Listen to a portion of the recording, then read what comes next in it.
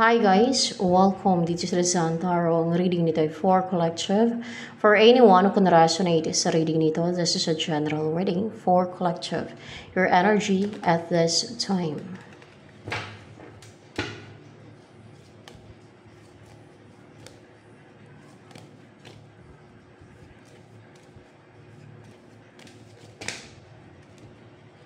Wow, you're in love? And I think it's upright. Upright ba tong Six of Pentacles? Yeah? Yes. Gusto mo magkaroon ng balance yun ng person mo. In love ka sa person mo. Mahal mo siya.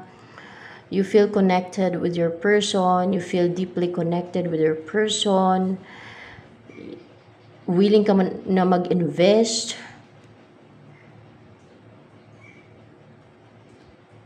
and uh, ibigay yung makapagpasaya sa person mo.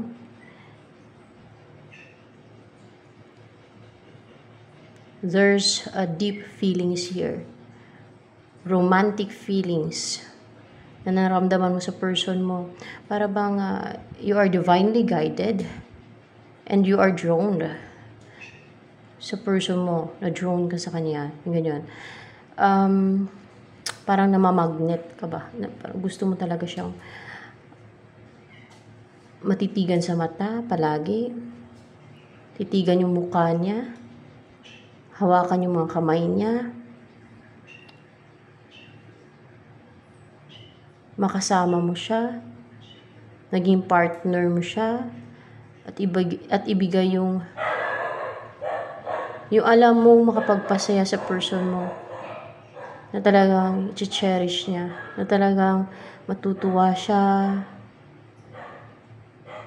na parang bata, ganun. Main energy mo ngayon. Emotional. Hindi mo pigilan yung emotion mo. Yung feelings and yung yung pag-iisip mo sa person mo, hindi mo din mapigilan. Hindi, yung emosyon mo lang.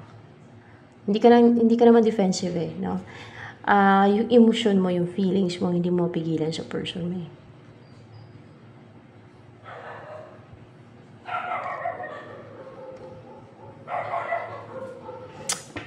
Ano ang uh,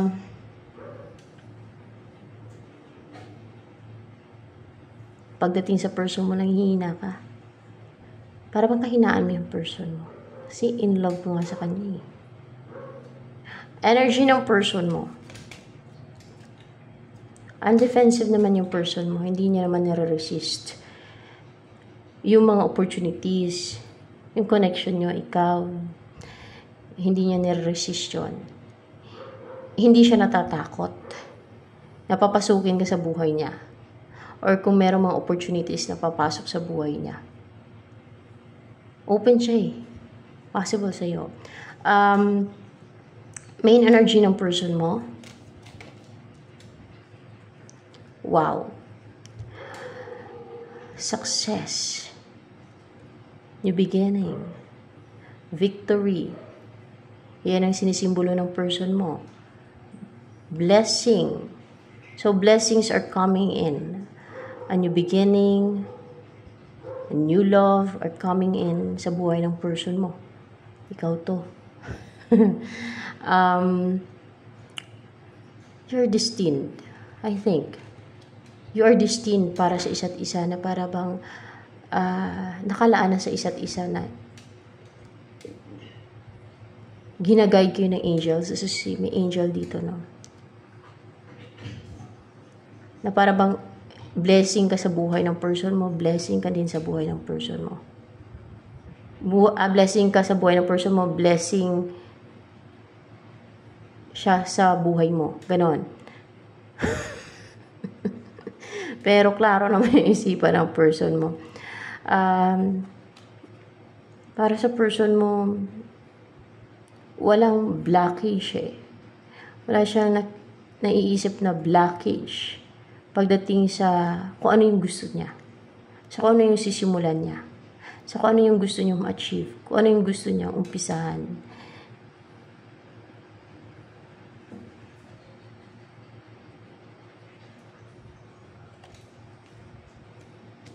Your person is free here. Nawala ng blockages na makapagsimula, na makapag-umpisa, na magtagumpay sa kung ano man itong sisimula na itong umpisa niya. Pwedeng sa love life, sa connection ninyong dalawa.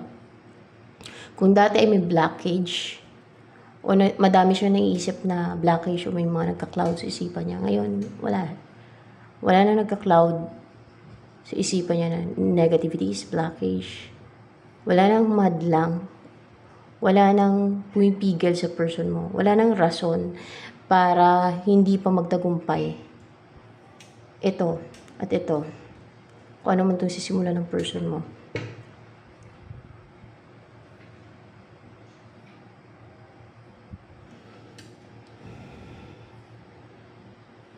Feelings ng person mo sa'yo ngayon?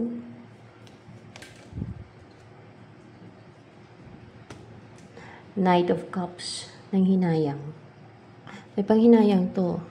More clarification with the Knight of Cups in reverse here.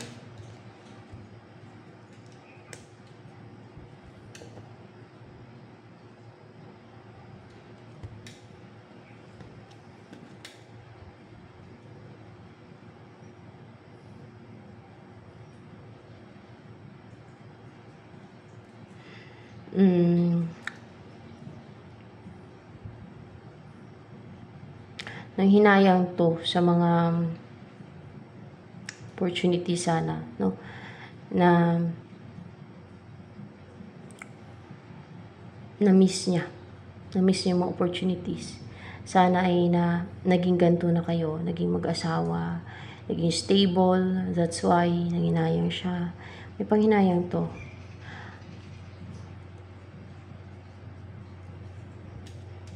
sa naging relationship ninyong dalawa. Hinayin siya kasi natapon eh. Nawala yung opportunity eh. Nasayang.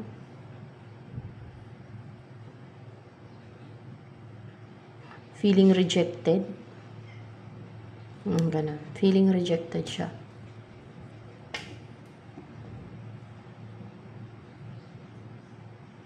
Maring na-reject mo yan kahit isang beses lang na kung kunwari nagpapansin siya sa'yo kinausap ka niya tapos hindi mo siya na-replyan no? hindi mo siya pinansin so feeling rejected din siya at the same time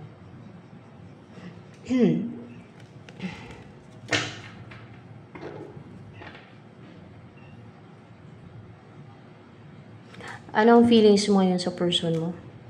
Maliban sa in love ka.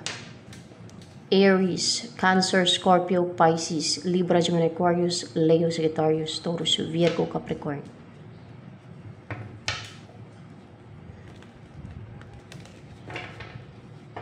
Feelings mo ngayon sa person mo? Wala pa. Gosh, in love ka talaga. Inulit lang, guys. Di ba? Inulit lang. In love ko talaga sa kanya at uh, gusto mo gusto mo talaga mag-invest sa person mo. Ayan. Na maging generous na sa kanya. Na tuloy-tuloy na maging, na maging giving sa person mo. Ayan. You're willing to give your love sa person mo. Attention, pagmamahal, affection, time, or anything. Katawan mo. Ganun. Um,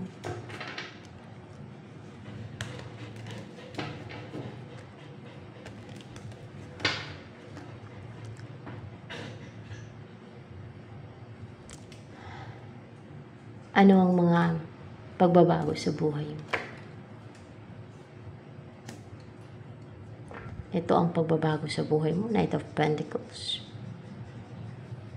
you will be in a committed career, relationship, na kung papasok ka man ulit sa relationship, or kung nasa relationship ka ngayon, maging long term yan. Pangmatagalan yan. Magstay. Or maybe magstay forever yung relationship na yan. Hindi na siya pang short term. So, ganoon din sa career. Hindi na pa iba-iba. Yung, kumbaga, ma-maintain siya, no? Stable.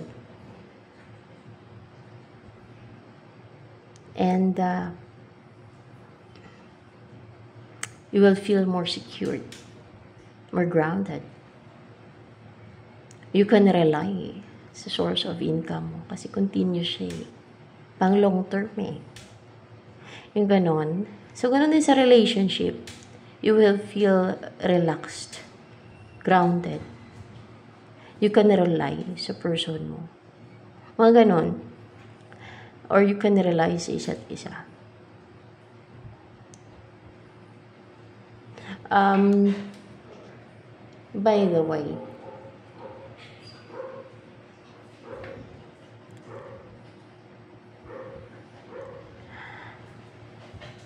ano yung uh, iniisip ng person mo sa'yo yan?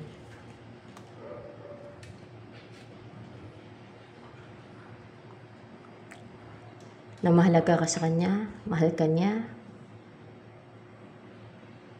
Pagdating sa iyo, dahil mahal ka niya, lakasan yung loob niya with the color blue here. Ah.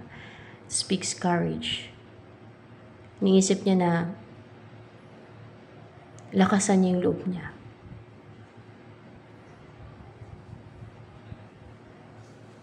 Sabihin ang totoo na mahal ka niya. Or uh,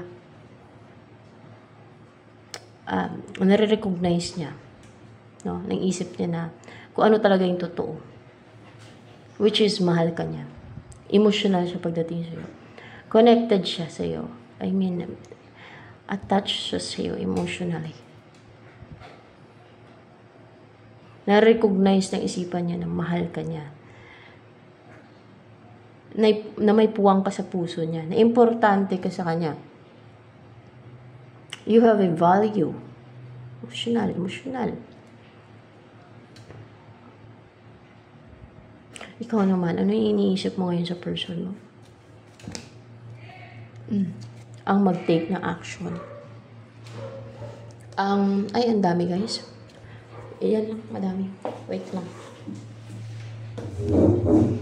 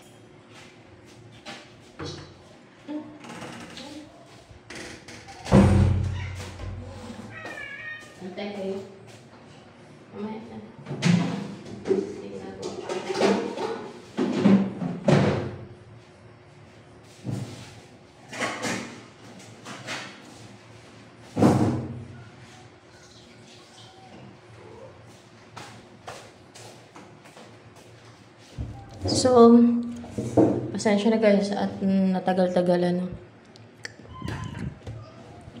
Mag-antay ka mo. Wait, mamaya na.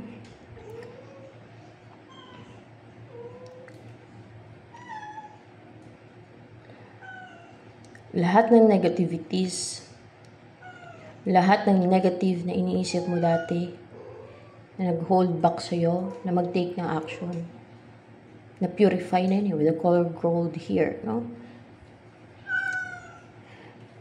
Naging positive ka na, optimistic, driven with the color gold, ha? And determinado. And with the moon here, there's emotion na nagda-drive sa'yo.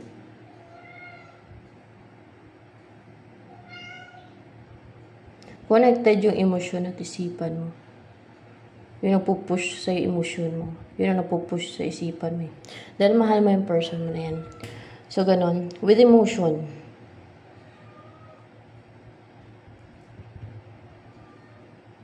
Hmm.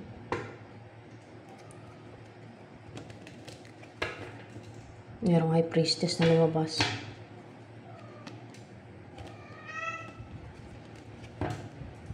Maring yung gumawa ng sumpa, curse sa connection nyo. Nawala na yung epekto ng ginawa niya sumpa. Sa kanya na tumatama lahat ng ginagawa niya sa inyo. Nang, um, smiya guys, oo. Wala na siyang dipinsa. oh. Sa kanya na tumatama lahat. Gagawan man kayo niya ng curse, sumpa, lahat ng klase ng scheme, manifestation, sa kanila lang tatama yan. Hindi sa inyo ng person mo. Bumabalik. Hindi lang bumabalik. Sa kanila tumatama. Hmm. Reverse na yun eh.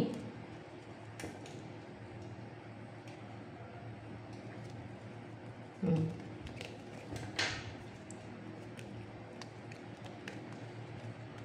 Kahit anong gawin na ng sumpa, kahit strong pa yung sumpa nila, witchcraft, gagawin any scheme, any um, manifestation, energy manipulation, with high priestess energy, gamitin man nila lahat ng lakas nila, lahat ng kakayanan nila, ang tama nun sa kanila lang.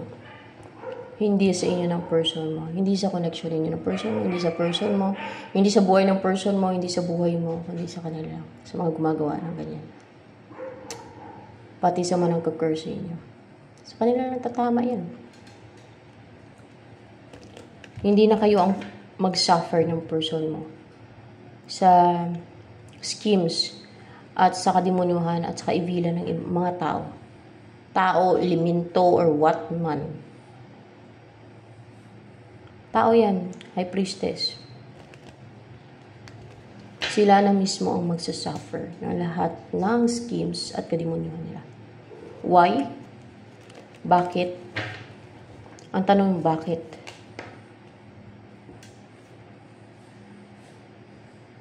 Hindi na magtatagumpay yung plano nila against sa inyo ng person. Lahat ng iniisip nila, lahat ng evil thoughts nila, na nakaapekto sa inyo dati, lahat ng curses, lahat ng scheme na naiisip nila against sa inyo ng person mo, bumabalik sa kanila, sa kanila ng tama. Hmm, Manginig na ng takot yung mga mahilig gumawa ng kadimonyoan at kavilan. Dapat lang.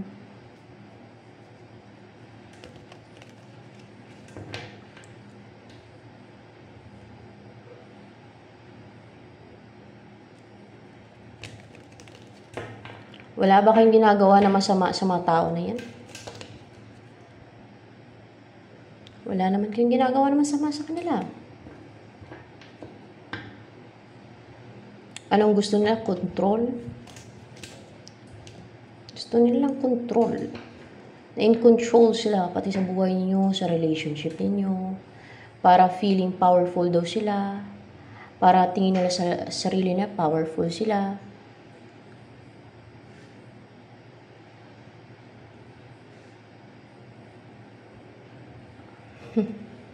Kita mo mga tao to. Tao talaga mag-isip. Ah, pag tao mag-isip. Mga selfish, makasarili. At ah, gahaman. Gahaman. Hindi lahat. Pero marami. Maraming ganyan. Gusto nila powerful sila. Right? Sabihin mong evil ka, proud pa. Sama ka, proud. Proud pa siya. Mga ganyan. Hindi ka gaya ng mabuting tao na sabihin mo masama ka. Sama yung loob niyan. Sabihin mo masama siya. Kasi hindi naman siya masama eh. Kaya hindi lahat ng tao ay masama. Merong mabubuti. Merong matitino ang utak. Yung mga taong evil kasi, mga sira na yung utak naman yan. Nasira ng ah, kung ano man nangyari sa buhay nila. Wala nang kontrol sa isip nila. Ano nagkukontrol? Hangin. Hangin. Evil spirit. Lalo na itong mga high priestess na to ng gustong mangontrol sa buhay ninyo, sa relationship niyo ng person, no? Ano nagkukontrol sa mga yan? Mga Nephilim na yan. Ah, actually, they're still uh, doing what they want to do. Ginagawa nila. Ano yung makakapagpasaya sa kanila. Gamit yung itim na kalaman nila. Yun nga lang, sa kanila lang, tama. Hindi na sa inyo ng person mo. Lahat ng klase ng scheme, lahat ng maisip nila against sa inyo ng person mo, sa kanila lang tama. Kahit gaano pa yung kalakas, sa kanila lang tama. Lakasan nila, sila din ang magsasuffer. Kung gusto kayong patayin ng mga yan, o isa sa inyo, sila mamamatay. Kung may gusto silang patayin sa inyo, sa pamilya, si- sila mamamatay o ang pamilya nila. Ganun na yun eh, parang nagbabackfire ba?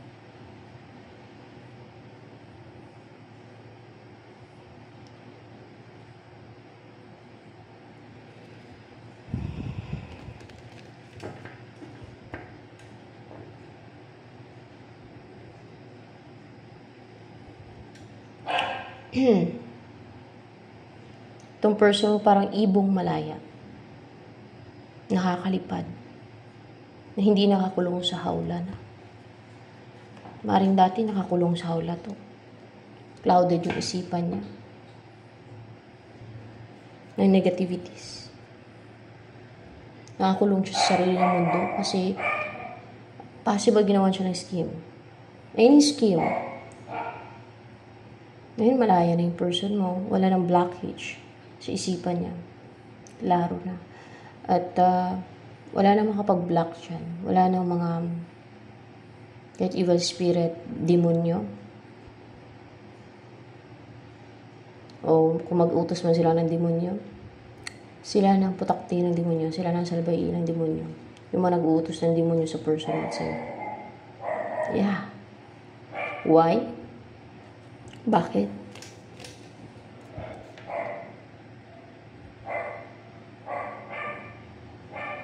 Na-cut off na. Nawakasan na. Winakasan na.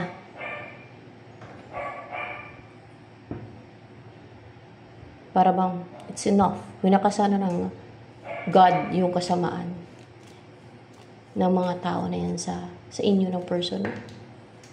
Mm. Yes. Naka-favor na sa inyo ang universe, ang mga anghel.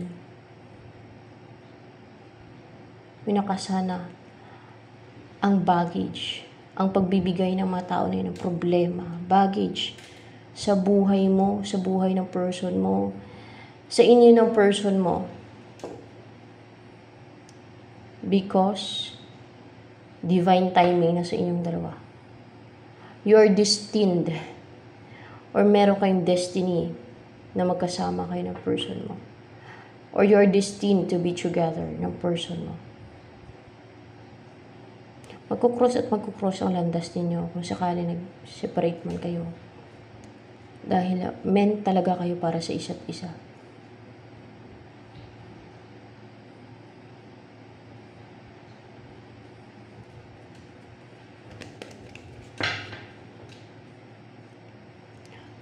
ano ang ah,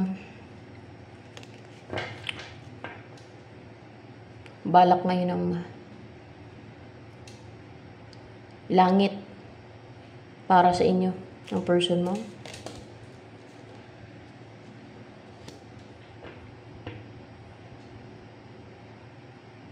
Anong balak ng langit? Sino mang nadi-decide sa langit?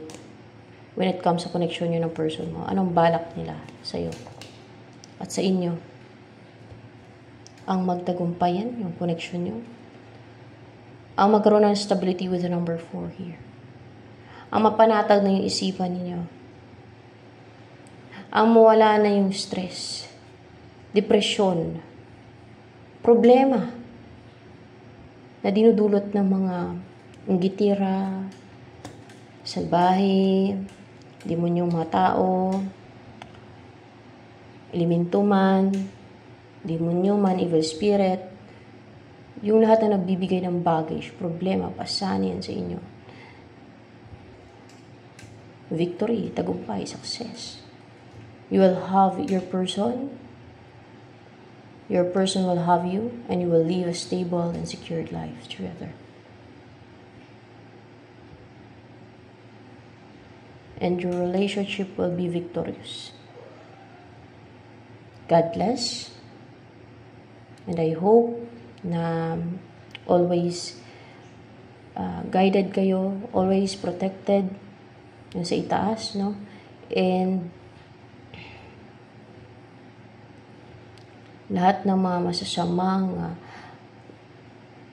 tao, elemento, demonyo, na gustong paghiwalayin kayo at bigyan kayo ng problema, actually wala na eh.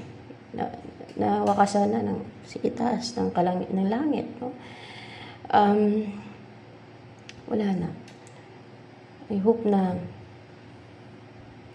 uh, it's the end of their evilness no ng mga taong gustong mangharm at mangontrol sa buhay ninyo at yung mga gusto mang destroy ng inyong relationship it will be the end of their evilness from now on and forever God bless you so ito na lamang guys for collective reading sa mga baguhan po dito sa aking channel you can subscribe and um, you can click the bell button so that you can be notified